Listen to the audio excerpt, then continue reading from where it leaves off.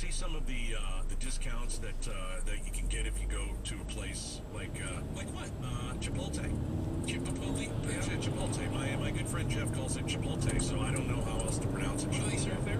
Uh, oh, it's delicious. Really, chicken and stuff. And, and Okay. it's, yeah.